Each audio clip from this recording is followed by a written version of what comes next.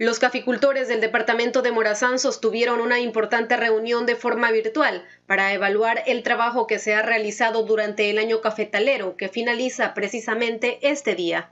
Y estamos eh, un poco recapitulando las actividades que hicimos. Eh, afortunadamente en esta temporada tuvimos la oportunidad de exportar algunos cafés como productores y como miembros de, de la denominación de origen y como miembros de algunas cooperativas que estamos trabajando acá en el territorio, como lo es pues en este caso la cooperativa San Carlos II, la cooperativa Calem y la cooperativa Copadem, que estamos, somos las tres principales organizaciones que estamos, eh, digamos, liderando la parte eh, de producción, procesamiento y exportación uno de los temas principales fue abordar la planificación de acciones puntuales para poder mejorar la calidad del café local.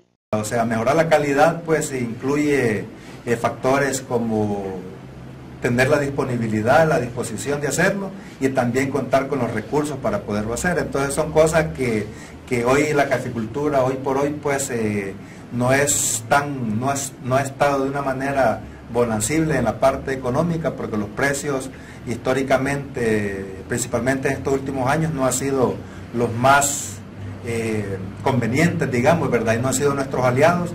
A pesar que hay mejoras que hacer, Edilberto Guevara reconoce que tienen un excelente producto en el mercado que les ha permitido posicionarse a nivel internacional. Y ya tenemos buenos cafés colocados también con otros compradores y en otras subastas eh, similares a tasa de excelencia eh, a nivel local y a nivel internacional. Entonces eso quiere decir de que tenemos buena materia prima. Lo que tenemos que hacer nosotros es trabajar bien nuestras fincas para que la calidad de este grano dé el potencial que tiene, ¿verdad?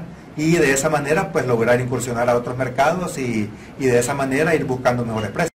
En años anteriores, la producción del café en Morazán era de más de 100.000 quintales. Sin embargo, este sufrió una caída, por lo que los caficultores han buscado la forma de ir recuperando las cosechas.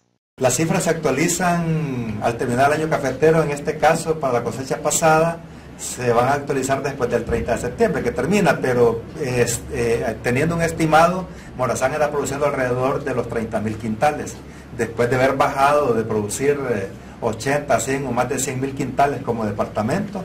Eh, después del ataque de la roya llegamos a producir 16 mil quintales, allá por la cosecha 2012-2013. Entonces ahora nos vamos recuperando poco a poco. También mencionó sobre algunas exportaciones que han realizado en los últimos años, como hacia Estados Unidos, Medio Oriente, Ucrania y otros países europeos. Con imágenes y edición de Enrique Hernández, Lizeth García, Noticiero Telemás.